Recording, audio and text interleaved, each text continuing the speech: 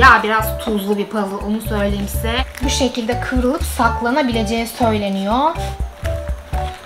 Evet. Kıvrıldı.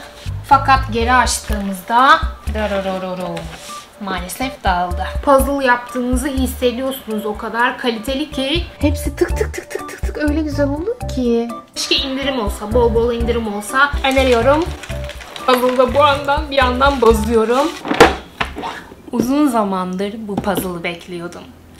Bir an önce sipariş edeyim, sepet ekleyeyim gelsin. Bir iki haftada bekledim, yalan yok. Bugün sizlerle beraber KS Games'in yeni koleksiyonu olan, inanılmaz kalite vaat eden yeni koleksiyon puzzle'ını yapacağız. Hadi videoya başlayalım.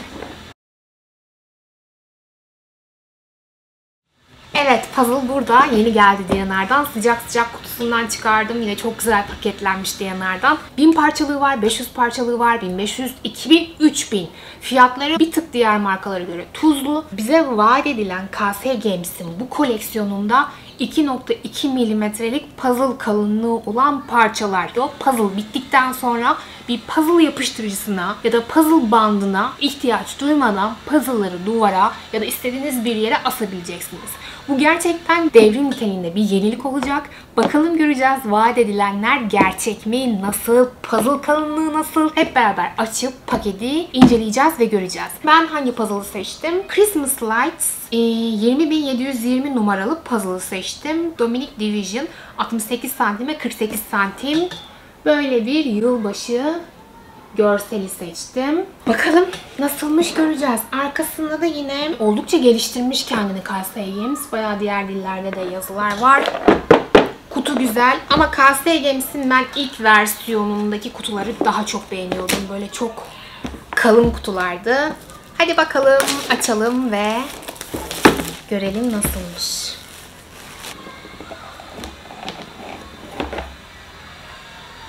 İçerisinden bir teşekkür kartı çıkıyor. Sizin gibi puzzle severe hizmet vermek bizim için büyük zevk. Bu kart birlikte ürettiğimiz her bir puzzle için birer hatıra olarak kalacak. Bitmiş puzzle'ınızın fotoğrafını çekip KS Official'da etiketlediğinizde sürpriz hediyeler kazanma şansı yakalayacaksınız diyor. Hemen de etiket yapacağım. Hem böyle Türkçesi ve barkod ve İngilizcesi yer alıyor. İçerisinden bir teşekkür kartı. Ve Parçalarımız burada. Gelin beraber bakalım 2.2 milimetrelik puzzle kalınlığına sahip parçalar nasılmış?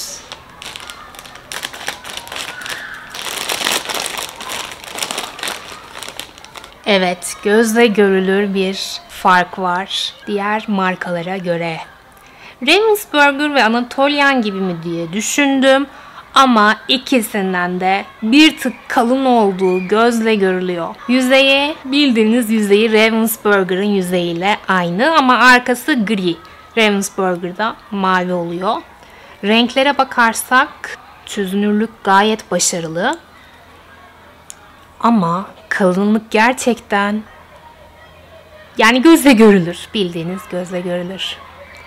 Burada İçindeki havaları bile görüyorsunuz kabarcıkları. Hiçbir şekilde bükemiyorsunuz. Tabii çok zorlarsanız böyle bükersiniz ama bükülmüyor. Bu kadar. Evet ben şimdi puzzle'ı, puzzle'larımın parçalarını ayıklamaya devam edeceğim. Bir kahvemi yaparım. Dış parçaları yaparım. Çerçeveyi yaparken güncellemede tekrardan görüşürüz.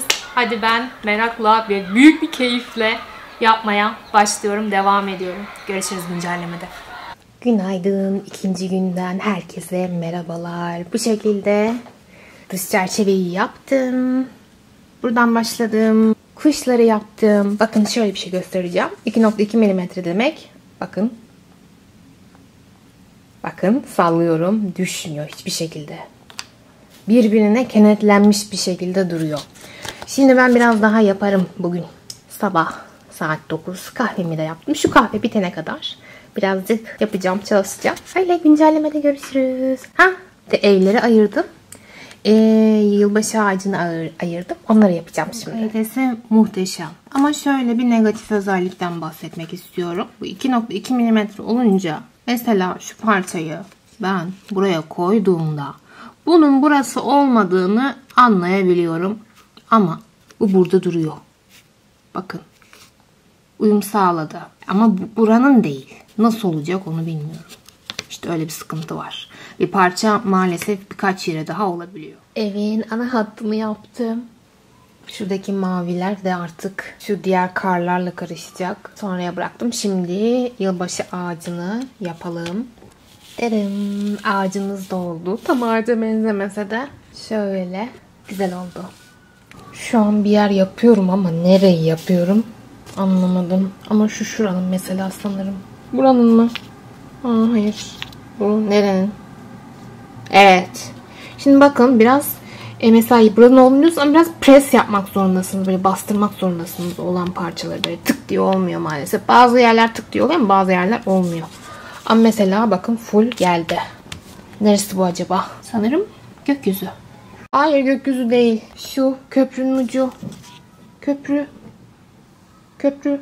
Puzzle çok keyifli. Hepsi tık tık tık tık tık tık öyle güzel oluyor ki. Çok keyifli yapması. Kesinlikle bu markadan devam edeceğim. Hatta bakacağım yine şu Ezos'un serisi çıktıysa hemen alacağım. KS Games yapmış, başarmış yani. Muhteşem. Son durum bu şekilde. Ya hiç bırakasım yok. O kadar keyifli ki. Şimdi şuralara bayağı yaptım. Şu sallıklara yapacağım. Ağaçlar zaten inanılmaz keyifli. Şimdi biraz dışarı çıkmam lazım ama hiç bırakasım yok elimden. Dönünce artık akşam yaparım. Güncellemede görüşürüz. Ve son 3 parça.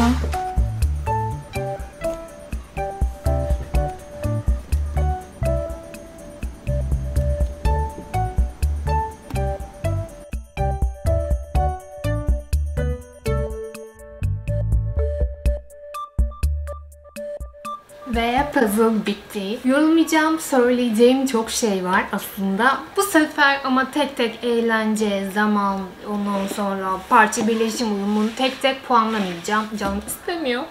Çok uzun geliyor konuşmak. Direkt öyle uzun uzun konuşmadan direkt sadece puzzle'ı yorumlayacağım bu sefer. KS Games'in yeni çıkarmış olduğu 2.2 mm kalınlıklı ve Christmas Light isimli bu bin parçalık puzzle'ını ve genel olarak KS Games'in çıkarmış olduğu bu yeni seriyi yorumlayalım. Beklediğimden çok daha iyi performans vardı. Öncelikle onu söylemem lazım. Baskı mat, parlak değil parçaların üzerindeki. Parça şekilleri birden fazla işte küçüklü büyüklü olarak. Kolaylık yani bayağı kolaydı. Parça birleşim uyumu. Çok değişik ya size şöyle söyleyeyim. Normal puzzle'larda böyle puzzle'ı yerine, yerine koyduğunuzda böyle kıt pıt yapar ya. Bunda öyle yapmıyor. Bunda sanki süngerle kaplı bir adanın içerisinde bir sünger parçasını yerleştiriyor musunuz gibi bir his. Bazen onu zorlamanız gerekiyor. Mesela böyle pıt diye girmiyor. Bu nasıl anlatsam videosu da vardı. Hatta KS Games'in reklamında. Bayağı içine pıt diye böyle. Ve puzzle yaparken diğer modellerine bakmak istedim çünkü çok beğendim. Yani sadece bu puzzle yapabilirim. Geri kalan süre boyunca bir sürü çeşidi var. Hatta 3000 parçalık bir kütüphane kedili böyle. Onu çok beğendim. Hepsi burada da indirimliydi. Sonra zam geldi. Ya biraz tuzlu bir puzzle onu söyleyeyim size.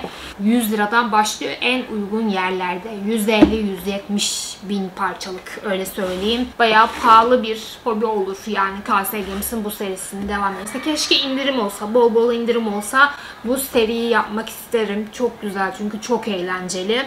Puzzle yaptığınızı hissediyorsunuz o kadar kaliteli ki her bir parça çok kaliteli. Onu hissediyorsunuz yani. Renkler canlı.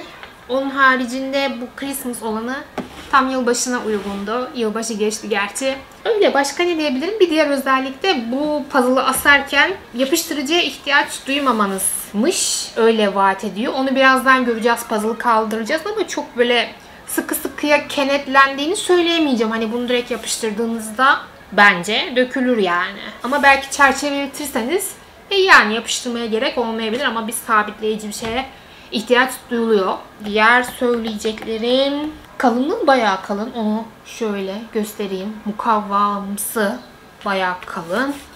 Öyleydi yani. Özellikle şu şey kısmında çok eğlenceliydi. Ağacın Yılbaşı ağacı çok eğlenceliydi. Bir de bu renk geçişleri, alacalı buğacalı olan kısım benim için çok eğlenceliydi. Kolay bir puzzle'dı, zor bir puzzle değildi. Onu söylemek istiyorum. Şimdi gelelim en eğlenceli kısma. Ha bir de puzzle'a genel olarak bir puan verirsem kesinlikle 5 üzerinden 5. Ama yorumum keşke biraz ucuzlasa. Çok pahalı. Bayağı pahalı bir puzzle. Ravensburger skalasında. Öyle söyleyeyim. Hatta bazen daha pahalıya geliyor.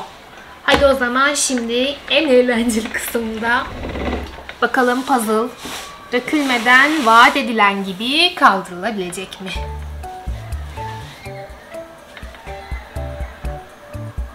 Evet, oldukça rahat. Diğer vaat edilense kıvırıp kaldırabileceğiniz. Onu da şöyle gösterelim. Bu şekilde kıvrılıp saklanabileceği söyleniyor. Evet. Kıvrıldı. Fakat geri açtığımızda Dararararo. Geri açtığımızda maalesef dağıldı. Öyleydi yani. Bugün sizlerle beraber çıkarmış olduğu puzzle serisinden Christmas Light'ı beraber yaptık, denedik ve inceledik. Almak istiyorsanız hatta aşağıya da linkini bırakayım bu puzzle'ın. Mutlaka deneyin bence bir puzzle severin. Bu yeni 2.2 mm'lik kalınlıklı puzzle'ı yapmanıza bir denemenize fayda var. Öneriyorum. Puzzle'da bu andan bir yandan bozuyorum. Öyle. Kanala hala abone değilseniz abone olmayı, videoyu beğenmeyi unutmayın. Bir sonraki videoda görüşmek üzere. Kendinize iyi bakın.